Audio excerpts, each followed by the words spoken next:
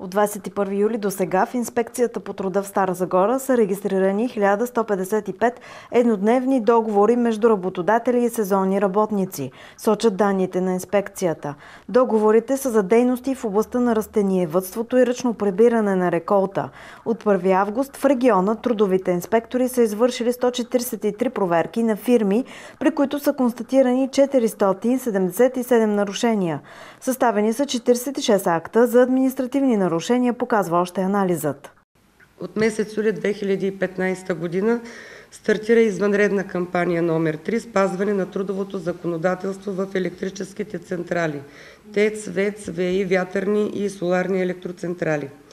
По отношение на изплащане на трудовите възнаграждения на работниците и служителите се забелязва тенденция на намаляване на работодателите, които забавят тяхното изплащане или не изплащат гарантираното трудово възнаграждение в размер 60 на 100 от брутното трудово възнаграждение на работниците, но не по-малко от минималната работна заплата. До края на август ще приключи втория етап от кампания за проверки на строителни обекти. По данни на Агенцията по заетостта намалява равнището на безработица в Старозагорска област за юли. Най-малко хора без работа има в община Казанлък, а най-много в Опан. По-малко са безработните в Стара Загора. Понижаването на броят им е с 199. Равнището на безработицата е намалява с 0,2% пункта, а регистрираните безработни с 234 души с най-низко равнище на безработица продължава да е община Казанлък с 4,8% на 100, а с най-високо община Николаево 66,7%. През юли на работа са поступили 804 лица, от тях 159 по програми за заетост.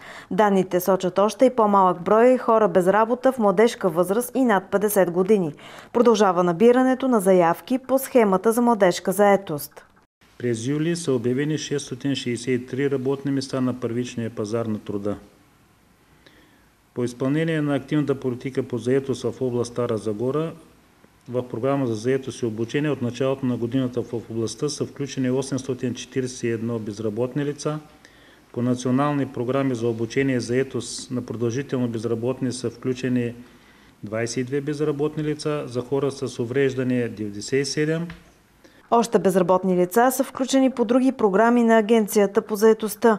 По програма Активиране на неактивни лица са записани 140 лица от ромския квартал Лозенец и над 70 от село Братя Кунчеви. Пълният списък ще бъде готов в края на месеца. Очаква се през септември те да бъдат включени в обучителни програми.